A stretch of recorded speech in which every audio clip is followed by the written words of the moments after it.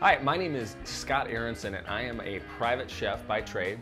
I work in the home, so I'm very familiar with working in small kitchens and large ones as well. Today we're going to talk about mandolines. Uh, it's a tool that is used to cut all different types of vegetables, uh, from potatoes, zucchini, uh, you name it.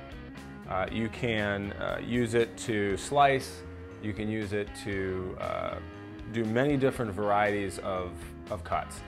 The mandoline is actually centuries old and it was a tool that was used uh, in this manner. They would put it up against their chest and they would slice down into a bowl, into a dish. And it gets its name because it was very similar to a musical instrument, the mandolin. And that's how it got its name. And we still use them today for many preparations. Uh, you can use this to uh, slice, you can use it to get julienne, little matchstick uh, type vegetables uh, for stir fries, uh, for pretty much any, any dish you, you wish to use matchstick or julienne vegetables.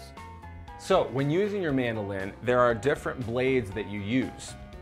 Here we've got a tiny little blade here and a larger cut blade here. If you want small cuts, you use this blade. If you want a larger cut, you use this blade. There's also a dial on your mandoline that controls the thickness of your cuts.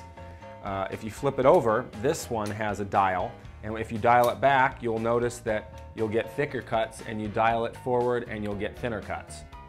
You can use mandolines to cut all sorts of vegetables and uh, for, for large quantities of vegetables. If you want to slice up potatoes for potatoes au gratin, this is a great tool. Uh, uniform slices all the time. You don't have to worry about things being thicker or thinner, which when you're cooking, you want everything to be uniform so it cooks all at the same time. So there are similar uh, products out there like this. Some are all metal, some are plastic and metal. Uh, you want to make sure that you are careful in using these and make sure you watch your hands and make sure you use the tool properly and the guards properly, okay? My name is Chef Scott Aaronson and this is the mandoline. Thanks for watching.